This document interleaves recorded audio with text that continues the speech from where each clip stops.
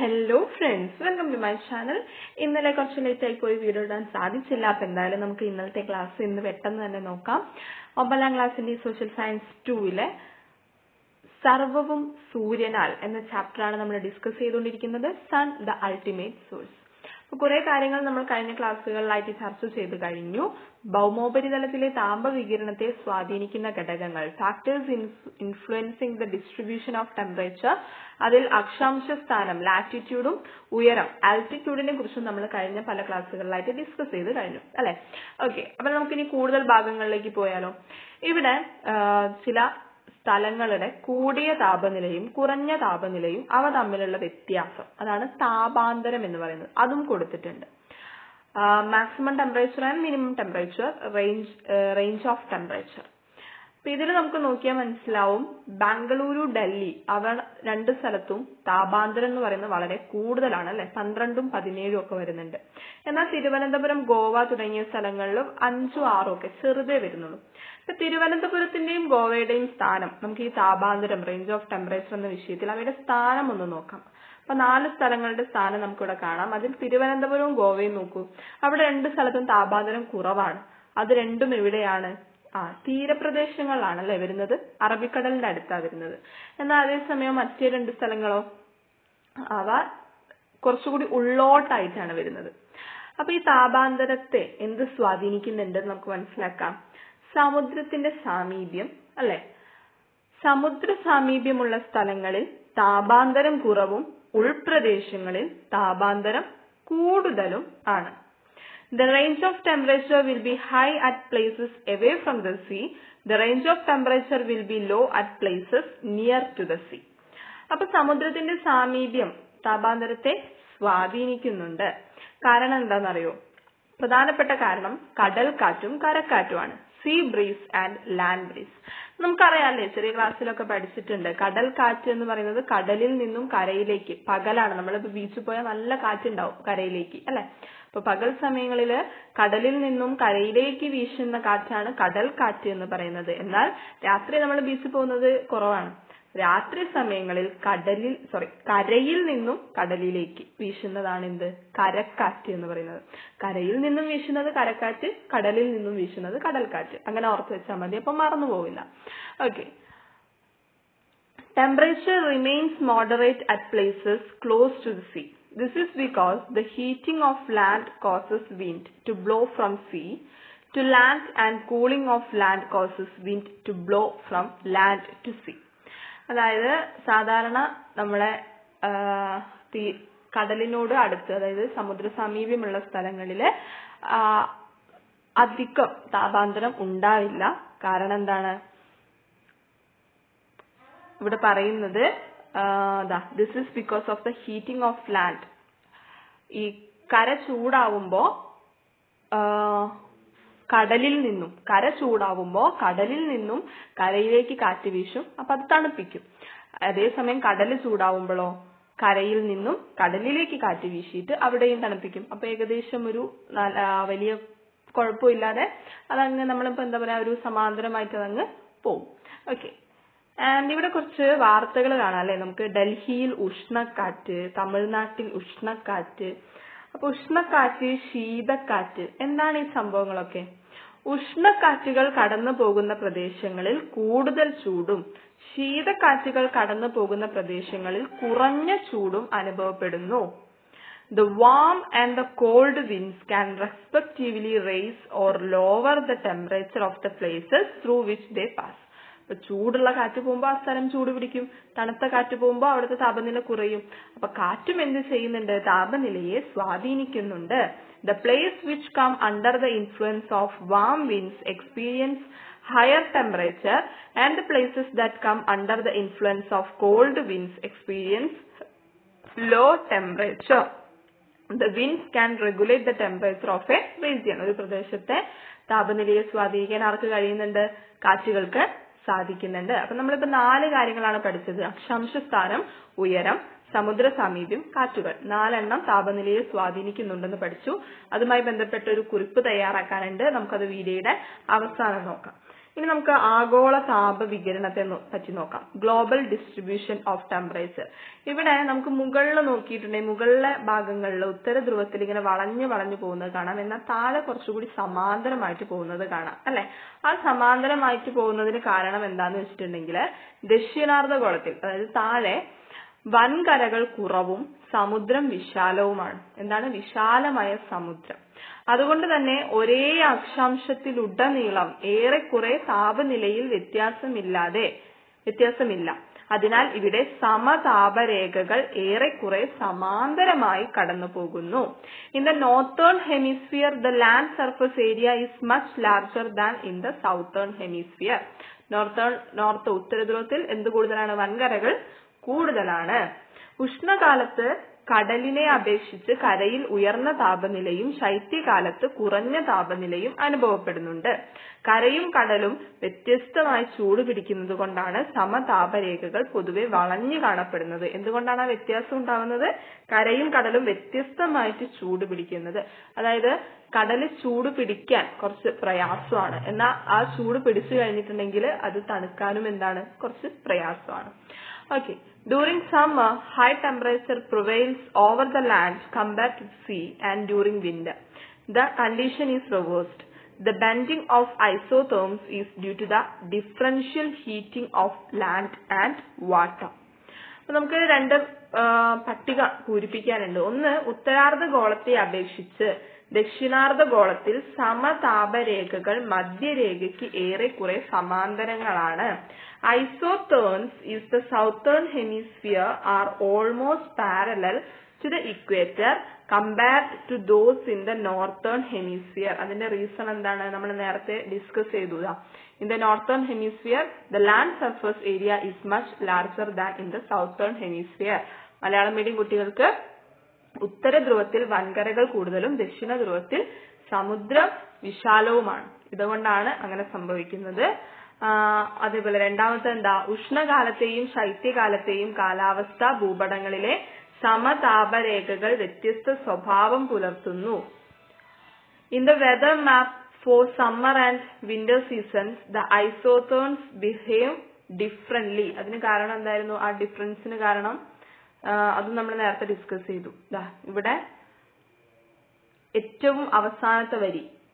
Differential heating of land and water അതാണ് അതിന്റെ കാരണം. കരയും കടലും വ്യത്യസ്തമായി ചൂട് പിടിക്കുന്നത്. ഓക്കെ ആൻഡ് നമുക്ക് അടുത്ത ഭാഗത്തേക്ക് പോവാം. അന്തരീക്ഷത്തിലെ ജലം വാട്ടർ ഇൻ ദ അറ്റ്മോസ്ഫിയർ അന്തരീക്ഷത്തിലെ ജലാംശത്തെ ആർദ്രത എന്ന് വിളിക്കുന്നു. Water content in the atmosphere is called humidity അന്തരീക്ഷ ജലത്തിന്റെ അളവിനെ സ്വാധീനിക്കുന്ന ഘടകങ്ങൾ എന്തൊക്കെയാണ്? താപനില ജലലഭ്യത അന്തരീക്ഷ സ്ഥിതി ബാഷ്പീകരണം സസ്യസ്വേദനം. The factors influencing the amount of moisture in the atmosphere, temperature, availability of water, atmospheric condition, evaporation, transpiration in plants. And വ്യത്യസ്ത പ്രദേശങ്ങളിൽ എന്ന പോലെ വിവിധ സമയങ്ങളിലും ആർദ്രത വ്യത്യസ്തമായിരിക്കും humidity varies not only with the place but also with time important ഭാഗമാണ് കേട്ടോ ഒന്ന് നോക്കി വെക്കുക ഇനി അന്തരീക്ഷ വായുവിന് ഉൾക്കൊള്ളാൻ കഴിയുന്ന നീരാവിയുടെ അളവ് ഓരോ താപനിലയിലും വ്യത്യസ്തമാണ്. വായുവിന്റെ താപനില കൂടുന്തോറും നീരാവിയെ ഉൾക്കൊള്ളാനുള്ള കഴിവും വർദ്ധിക്കുന്നു. അപ്പൊ താപനില കൂടുമ്പോൾ കൂടുതൽ നീരാവിയെ ഉൾക്കൊള്ളാൻ സാധിക്കും. അന്തരീക്ഷ വായുവിൽ അടങ്ങിയിട്ടുള്ള നീരാവിയുടെ യഥാർത്ഥ അളവിനെ കേവല ആർദ്രത എന്നാണ് വിളിക്കുന്നത്. ഒരു ക്യൂബിക് മീറ്റർ വായുവിൽ എത്ര ഗ്രാം ജലബാഷ്പം ഗ്രാം പെർ എം ത്രീ എന്ന ഏകകത്തിലാണ് കണക്കാക്കുന്നത്.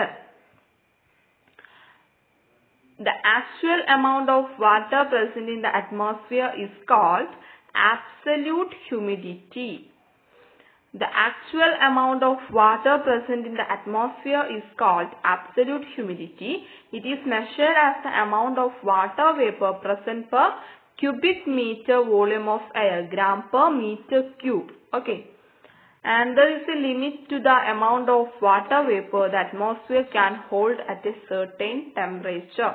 The stage at which the atmosphere is fully saturated with water is termed as saturation level. അതായത് പൂരിതമാവുന്ന അവസ്ഥയെയാണ് നമ്മൾ പൂരിത അവസ്ഥ എന്ന് പറയുന്നത്. അതായത് അറ്റ്മോസ്ഫിയറിനെ താങ്ങാവുന്ന അത്രയും നീരാവി ആയി കഴിഞ്ഞിട്ടുണ്ടെങ്കിൽ പൂരിതമായി കഴിഞ്ഞാൽ അത് പൂരിതാവസ്ഥ എന്നറിയപ്പെടുന്നു. പിന്നീട് എന്ത് സംഭവിക്കും? ഘനീകരണം. നമ്മൾ മഴ പെയ്യുന്നൊക്കെ പറഞ്ഞിട്ടുണ്ട് അല്ലെ? ഘനീകരിക്കുക. അപ്പൊ ഘനീകരണം ആരംഭിക്കുന്ന നിർണായക ഊഷ്മാവിനെ തുഷാരാങ്കം എന്ന് പറയുന്നു. The critical temperature at which condensation begins is called dew point ഒരു നിശ്ചിത ഊഷ്മാവിൽ അന്തരീക്ഷത്തിന് ഉൾക്കൊള്ളാൻ കഴിയുന്ന ആകെ നീരാവിയുടെ എത്ര ഭാഗമാണ് അന്തരീക്ഷത്തിൽ നിലവിലുള്ളത് എന്നത് ശതമാനത്തിൽ കണക്കാക്കുന്നു. ഈ ആനുപാതിക അളവിനെ ആപേക്ഷിക ആർദ്രത എന്ന് വിളിക്കുന്നു. The ratio between the amount of water vapour present in the atmosphere and the total water holding capacity of the atmosphere at a given temperature is called relative humidity it is usually expressed in percentage ആപേക്ഷിക ആർദ്രത കേവല ആർദ്രത അന്തരീക്ഷത്തിന് ഉൾക്കൊള്ളാൻ കഴിയുന്ന ആകെ നീരാവിയുടെ അളവ് into hundred relative humidity is equal to absolute humidity total water holding capacity of the atmosphere at that particular temperature into hundred and നമ്മളത് കണ്ടെത്താനുള്ള വൈറ്റ് ആൻഡ് ഡ്രൈ ബൾബ് തെർമോമീറ്ററിനെയും പരിചയപ്പെട്ടു അല്ലെ? ഓക്കെ ഇനി നമുക്കൊരു പ്രവർത്തനം കംപ്ലീറ്റ് ചെയ്യാനുണ്ട്. ഒന്നുമില്ല പട്ടിക പൂർത്തിയാക്കാനാണ്. അന്തരീക്ഷത്തിലെ ജലാംശത്തിന്റെ അളവ് ഏതാണ്? ആർദ്രതയാണ്. Water content in the atmosphere is humidity B എന്താണ്? The actual amount of water present in the atmosphere അതെന്തായിരുന്നു? Absolute humidity അന്തരീക്ഷ വായുവിൽ അടങ്ങിയിട്ടുള്ള നീരാവിയുടെ യഥാർത്ഥ അളവ് കേവല ആർദ്രത. അന്തരീക്ഷം നീരാവി പൂരിതമാകുന്ന അവസ്ഥ. The stage at which the atmosphere is fully saturated with water saturation level പൂരിതാവസ്ഥ. And അവസാനത്തത് ഘനീകരണം ആരംഭിക്കുന്ന നിർണായക ഊഷ്മാവ് തുഷാരാങ്കം the critical temperature at which condensation begins dew point ഇനി നമ്മൾ നേരത്തെ പറഞ്ഞിട്ടുള്ള നൽകിയിരിക്കുന്ന സൂചനകൾ അതായത് അക്ഷാംശ സ്ഥാനം സമുദ്ര സാമീപ്യം ഉയരം കാറ്റുകൾ എന്നിവ ഭൗമോപരിതലത്തിലെ താപവികിരണത്തെ എങ്ങനെയൊക്കെ സ്വാധീനിക്കുന്നു. ഒരു കുറിപ്പ് തയ്യാറാക്കാനാണ് നിങ്ങൾക്ക് ഇവിടെ ഞാൻ ഹെഡിങ് കൊടുത്തിട്ടുണ്ട്. വേണമെങ്കിൽ ഈ രീതിയിൽ എഴുതാം. അല്ലെങ്കിൽ ജസ്റ്റ് ആ ഹെഡിങ് ഒഴിവാക്കിയിട്ട് എല്ലാം കൂടി ഒരൊറ്റ കുറിപ്പായിട്ട് എഴുതാം. ഓക്കെ ആദ്യം അക്ഷാംശ സ്ഥാനമാണ് മധ്യരേഖാ പ്രദേശം മുതൽ ധ്രുവങ്ങൾ വരെ എല്ലായിടത്തും ഒരേ അളവിൽ സൗരതാപം ലഭിക്കുന്നില്ല. ഉത്തരായന രേഖയ്ക്കും ദക്ഷിണായന രേഖയ്ക്കും ഇടയിലാണ് സൗരവികിരണം ലംബമായി പതിക്കുന്നത്. അതിനാൽ ഇവിടെ ഉയർന്ന ചൂട് അനുഭവപ്പെടുന്നു. ഈ മേഖലയെ ഉഷ്ണമേഖല എന്നറിയപ്പെടുന്നു. ഉത്തരായന രേഖയ്ക്കും ദക്ഷിണായന രേഖയ്ക്കും ഇടയിൽ സൂര്യരശ്മികൾ ചരിഞ്ഞു പതിക്കുന്നു. അതിനാൽ താരതമ്യേന ചൂട് കുറവായിരിക്കും.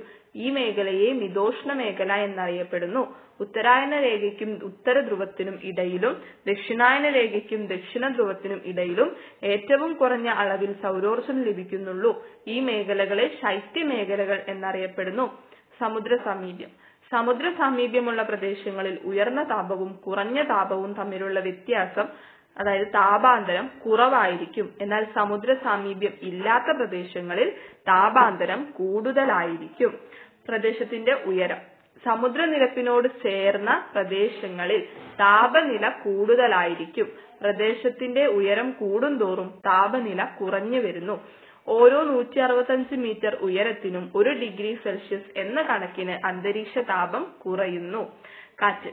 ഒരു പ്രദേശത്ത് വീശിയെത്തുന്ന കാറ്റ് ഏത് വിധത്തിലുള്ളതാണോ അതിനനുസരിച്ച് ആ പ്രദേശത്തെ താപനിലയിൽ മാറ്റം ഉണ്ടാകുന്നു ഉഷ്ണക്കാറ്റാണ് ഒരു പ്രദേശത്തേക്ക് വീശിയെത്തുന്നതെങ്കിൽ ആ പ്രദേശത്തെ താപനില കൂടുന്നു. ശീതക്കാറ്റാണ് വീശിയെത്തുന്നതെങ്കിൽ ആ പ്രദേശത്തെ താപനില ഗണ്യമായി കുറയുന്നു. Okay, prepare a note on the factors influencing the distribution of temperature by using the given hints. Latitude, altitude, nearness of ocean, winds. Temperature usually decreased by 1 degree Celsius for every 100 meters in altitude. distant from the sea oceans heat up and cool down much more slowly than land.